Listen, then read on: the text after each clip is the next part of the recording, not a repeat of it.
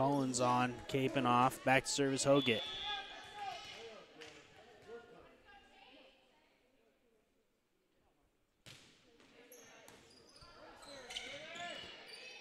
Got to get this one over. Faye does. Right to Ross.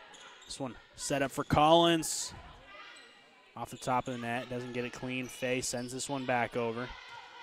Ross to O'Neill. The kill from Martinez doesn't go. To send that one back over. She can't. Was going backwards, and that's going to end set number one. Kalama takes it 25 to 17. Set number two coming up next on ESN.